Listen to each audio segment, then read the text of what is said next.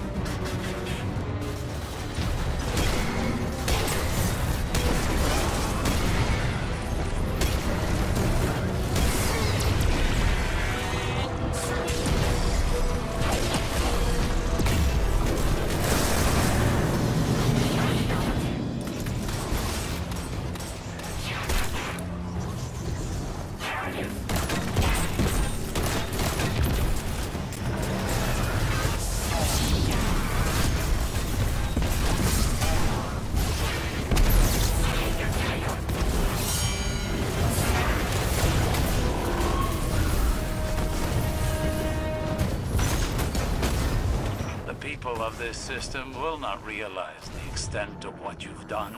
That is the bittersweet nature of our duty. Our success is often invisible. Our failure would be catastrophic.